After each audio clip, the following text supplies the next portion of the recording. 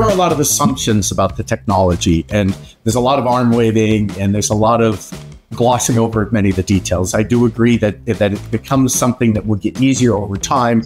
I do believe that the agents and the agentic technologies are going to get better at uh, doing things like remediating data and, and providing quality data and, and all of that driving those principles. you know, we're, we're seeing that now with, you know, we take our methodologies and we use them with large language models as prompts and, and context and give them examples and all of that. And they can do the stuff that we do uh, as human experts. Uh, still need that judgment.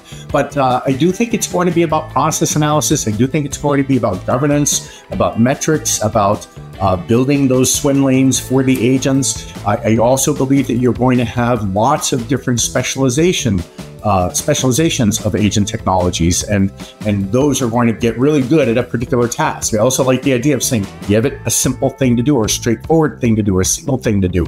Even then, it's going to have a lot of complexities. So there's a huge amount of work that's in front of us. I think that organizations need to focus on the basics. Uh, you know, do the crawl, walk, run. Uh, get their data house in order and be able to start building things that have very specific utilitarian functions that can be measurable, measurable outcomes, clear, unambiguous out- outputs that you can say, this is what good looks like.